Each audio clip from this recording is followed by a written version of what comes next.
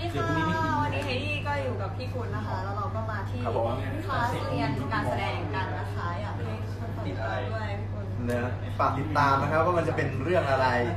ไฮดี้จะรับบทอะไร ผมจะรับบทอะไรเร็วๆนี้เดี๋ยวรู้แน่นอนครับก็ฝากทุกคนด้วยนะ